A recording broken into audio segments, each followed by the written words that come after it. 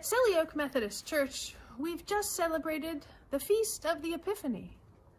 This is the journey of the wise men, the king, the magi, who saw a star and followed it to Jerusalem.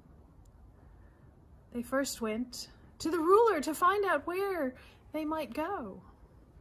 They spoke to Herod, and then they traveled on.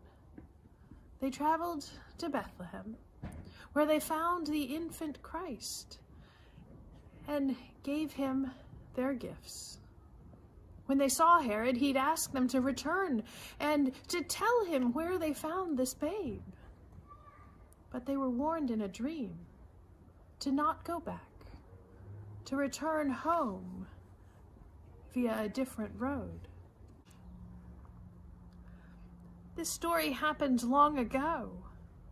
The kings made their journey then, but we have things in common with them today.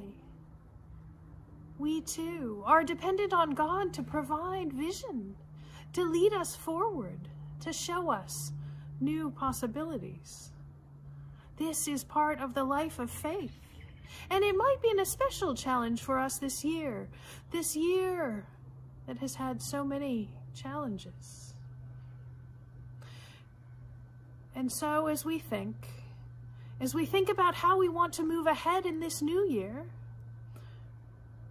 it's time to ask God to open up new possibilities, to increase our vision, so that we might find different, new ways, safe ways to go forward, that we might find a new road to go home. This is so important to us as we journey together to find our new normal. But as we do so, we know that God goes before us. God leads us, just like God led those magi so many years ago. And God leads us into new possibilities. May it be so.